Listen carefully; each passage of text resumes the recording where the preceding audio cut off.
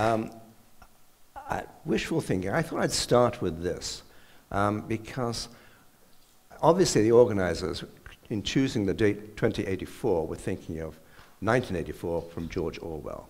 And a lot of this is going to um, basically involve my speech. Now, this is the Dalai Lama. Now, it's a very encouraging message, but actually, I think it's total dreamland. It is not going to work. I'm going to talk about the evolution of conflict. And I think it's worth thinking about what the world was like in 1984. And the fact is that we basically were in a Cold War.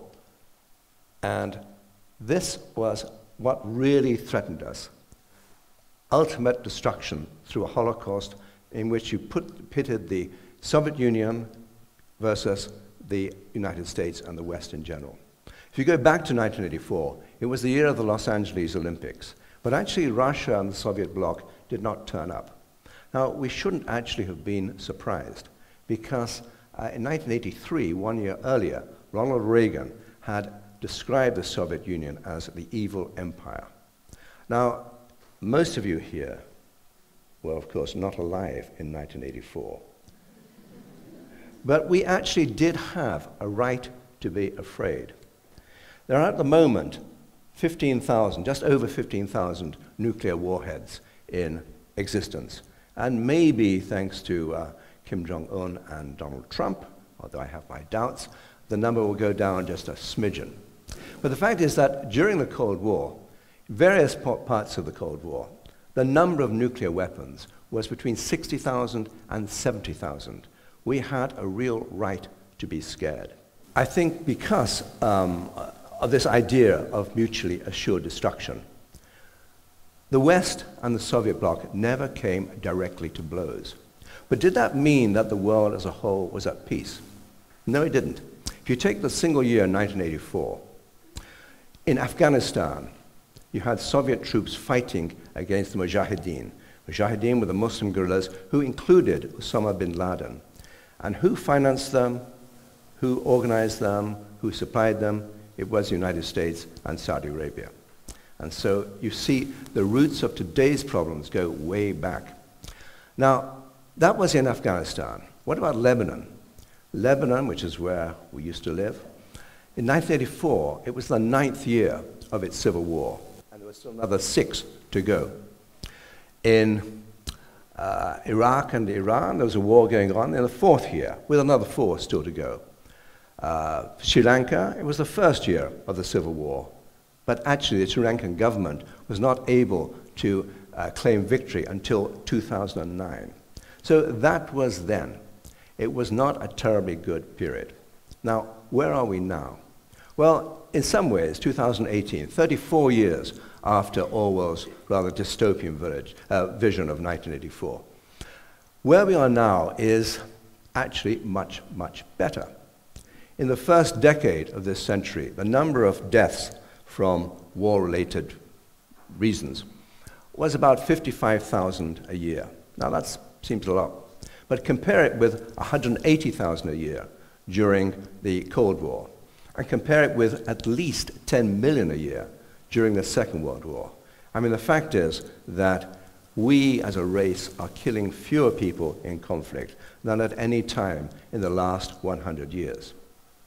Well, that's, I suppose, uh, an encouraging sign. Is there anything else we're encouraged about? Yes.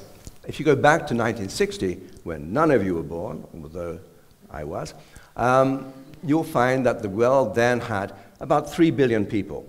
Now, of those 3 billion, at least half were living in what the UN defines as extreme poverty. If you go forward to now, the world's population is about 7.6 billion, and the number of people living in extreme poverty, which the UN defines as living on $1.90 a day, is actually fewer than 10%. I mean, the fact is that we are healthier, we are wealthier, we are longer lived than ever before, and we're killing fewer people than ever before. So, what is there to worry about? Well, maybe quite a bit. I mean, the fact is that there is another Cold War happening. And Sergei Lavrov, the uh, long standing, long serving uh, Russian foreign minister, says that this Cold War is actually worse than the previous Cold War. Well, in which case, what's to stop it from becoming a hot Cold War? Well, if you look at this graph here, you'll see that actually states no longer really go to war with each other. The red line is the one to pay attention to. It's basically at zero. States do not fight other states now. The one exception I can think of in this century is when Russia came to blows with Georgia in 2008. And that was a war, won, of course, by Russia, uh, which lasted for a mere five days. When states go to war now, they go to war with non state actors, for example, the Taliban in Afghanistan, or with ISIS in the Middle East, or with Boko Haram in Nigeria. And uh, one reason they go to war uh, with, not with each other, I mean, there are several reasons. Some people say it's because there are more democracies, and democracies don't fight each other. I'm not entirely convinced by that argument. I think it's because actually it's easier to fight wars by proxy. If you look at, the, at Syria, for example, the West, basically, and most of the Arab world for that matter, wanted to overthrow Bashar al Assad. And so they support the uh, fighters against Bashar. Russia intervened in 2015 to make sure that Bashar stays in power. Who will win? Well, I think Bashar will certainly stay in power for better or for worse, but that's not really the point. The fact is that wars now are happening in a way that uh, involves states, but only by proxy. Now, if you think of this, these are drones. Now, how much does a drone cost? Well, actually, I have no idea because I've never bought one. But I do know that I could actually afford one. Now, why would a, a, uh, a, a government anymore invest in expensive aircraft carriers, incredibly expensive jet fighters? Why not actually just employ drones? They're cheap, they're disposable. And this, I think, is one of the futures of war. It will be increasingly robotic. The other thing to bear in mind is cyber warfare. Why invest in huge armed forces when actually you can cause far more damage by using your computer? Even a lonely teenager, I don't want to think of any of the, the guys from the school, but one can imagine some lonely guy sitting in front of his computer, and of course it is normally guys rather than girls, uh, and paralyzing a health system or paralyzing uh, a state's financial system or its power supply. So cyber warfare is here to stay and it will get worse. Now, that's where we are at the moment. Where are we going to be in 2084, 100 years from the Orwell date? Well, for one thing, the population of the world will be much larger. It will be a bit over 10 billion. And there will be added pressures from climate change. There will also be advances from science in technology, producing things which we can barely imagine, and in fact, surely things which, which we have not imagined at all. I mean, maybe Elon Musk has, but most of us will not have. Now, all that will be new. It will bring new pressures. But one thing that will not change is human nature. We will still have the same emotions. We'll have hatred, we'll have lust, we'll have happiness, we'll have joy, jealousy, all those feelings that we all experience and which mankind has always experienced and which I think mankind will still experience in 2084. Now, what is the implication of that? The implication, I think, is that um, we will still have conflict. Now, in the early 90s, an American political scientist called Samuel Huntington uh, wrote about the clash of civilizations. Now, let's think about that idea. By 2084, you could well have a clash between China, the People's Republic, and the United States of America. Now, if that happens, it'll actually be a classic case of what other political scientists call the Thucydides trap.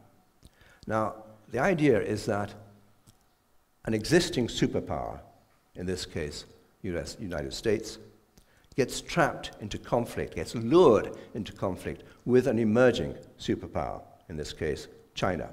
Now, Thucydides wrote about this two and a half thousand years ago. At the time, the superpower was Sparta, and the emerging power was Athens. And for some reason, because I haven't read Thucydides, although I should have, I did classics at school, um, it, they could not come to an agreement to live together. And so instead, they had 30 years of the Peloponnesian War. Now, is that going to happen with USA and China? It could. Some people think it definitely will. It's something we should certainly bear in mind. But that wasn't particularly on Huntington's mind. What he said was definite was a war between the West and Islam. Now, this is a rather dangerous concept, but if you were a Muslim, you could quite easily conclude that the West really is waging a war against Islam. You think of Western intervention in Afghanistan, in Iraq, in Syria, in Libya, and then you get a reaction. Now, this is the flag, as you know, of the Islamic State, of ISIS. Uh, La ilaha illallah, Allah, Rasul, Muhammad. And I don't think that more than a very small percentage, very small percentage of Muslims actually sympathize with Islamic State. But nonetheless, the idea of a clash of civilizations shouldn't be dismissed because one thing leads to another. We all like to think that, um, that we belong to a certain group. We need an identity. Most of the time, our identity is our nationality, or it can be our ethnicity, or our education, or our social class. Uh, it can even be our football team. In my case, perhaps sadly, it's Arsenal. And the point about, the point about having um, this identity is that it gives us an anchor in a globalized world. And we need that anchor, because otherwise the globalized world becomes too confusing. But the problem with having these identities is that there's always the risk that one identity will clash with another and that you will then have conflict. Well, what sort of conflict could that be? I've mentioned robotic warfare, cyber warfare. But actually, if you think ahead, there are much more dangerous prospects.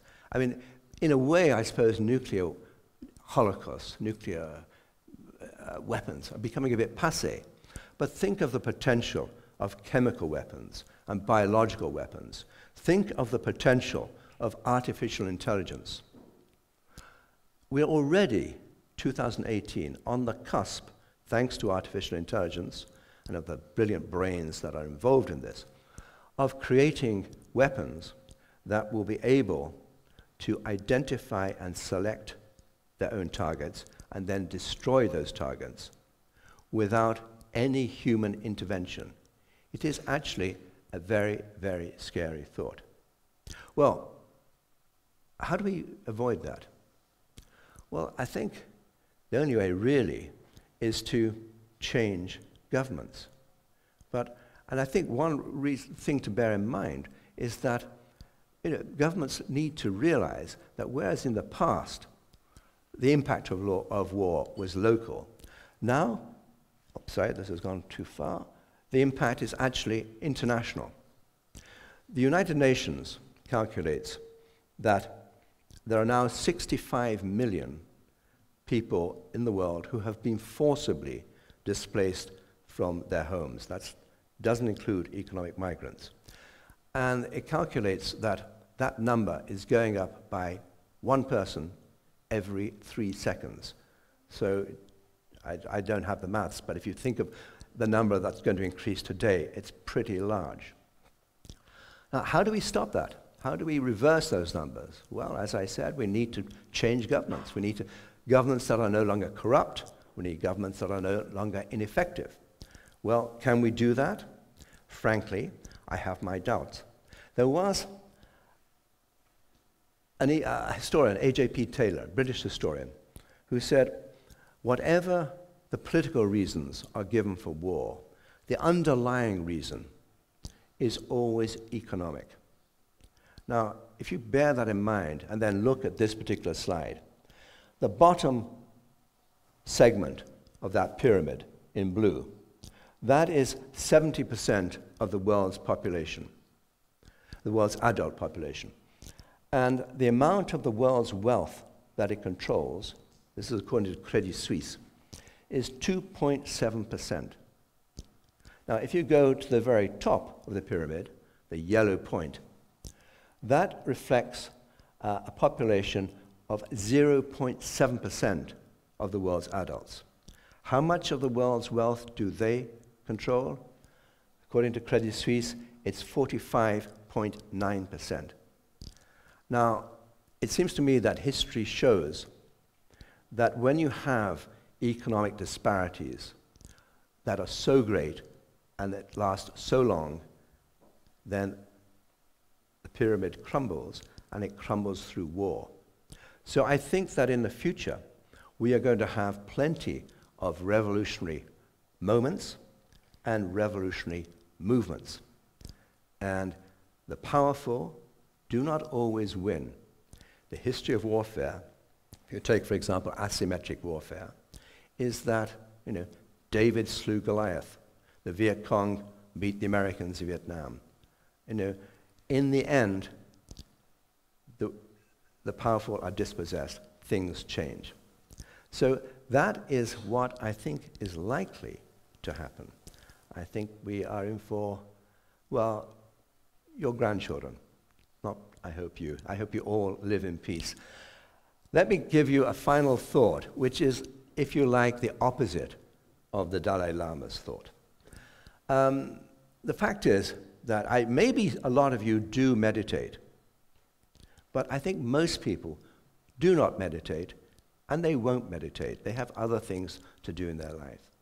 And so the Dalai Lama's vision that we will somehow take violence away from the world simply will not happen. Instead, Rutherford B. Hayes in the 19th century said, I think, something which is absolutely true.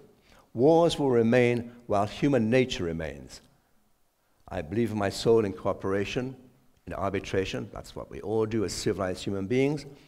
But the soldier's occupation, we cannot say is gone until human nature is gone. Well, human nature is not gone, and it will not be gone. I think George Santayana said this whole thing rather more succinctly when he said, Only the dead have seen the end of war. Thank you very much.